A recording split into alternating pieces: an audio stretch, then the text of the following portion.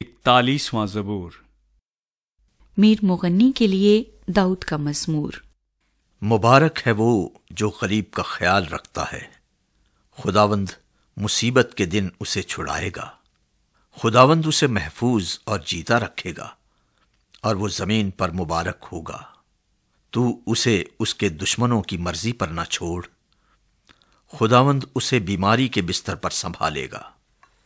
तू उसकी बीमारी में उसके पूरे बिस्तर को ठीक करता है। मैंने कहा, ए खुदावंद, मुझ पर रहम कर।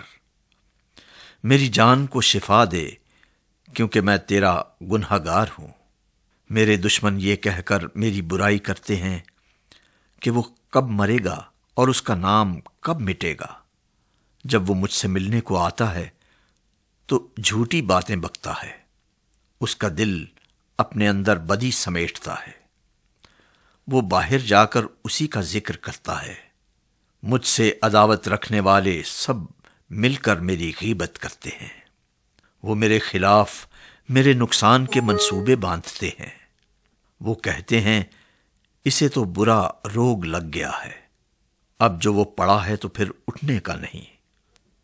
बल्कि मेरे दिली दोस्त ने जिस पर मुझे भरोसा था और जो मेरी रोटी खाता था, मुझ पर लात उठाई है। पर तू है खुदावंद, मुझ पर रहम करके मुझे उठा खड़ा कर, ताकि मैं उनको बदला दूँ। इससे मैं जान गया कि तू मुझसे खुश है, कि मेरा दुश्मन मुझ पर फतह नहीं पाता। मुझे तो तू ही मेरी रास्ती में कयाम बख्शता है, और मुझे हमेशा अपने हुजूर कायम रखता है।